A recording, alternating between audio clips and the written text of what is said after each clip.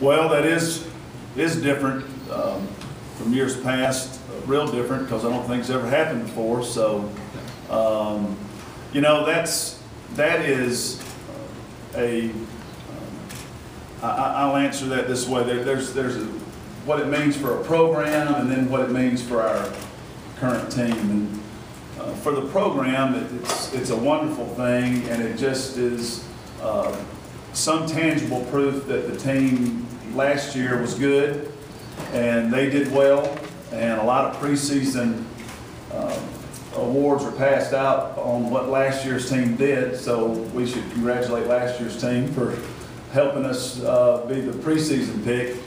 Um, And, and it also makes you appreciative of where we've come from.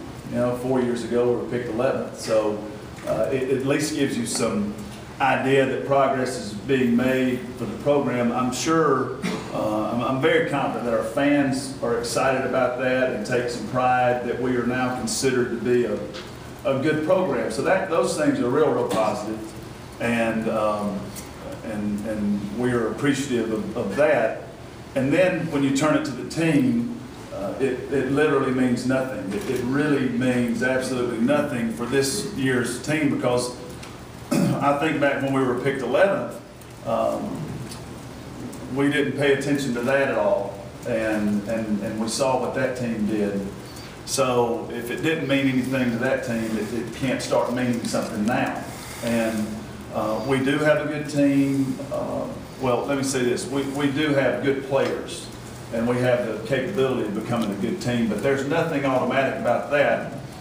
And really, uh, the only thing automatic when you think about it is, is we're all in this room going to die at some point. That's automatic. But other than that, that's just right. I mean, you can't look at that, that, that computer right there, Larry, and just make a story here. You got to do something. It's not automatic at all. So, uh, you know, outside of, of, of going six feet under eh, we got to do something with, with this team. So we're excited about, uh, the possibility of finishing the season first. That'll be really what, what's important. But it seems like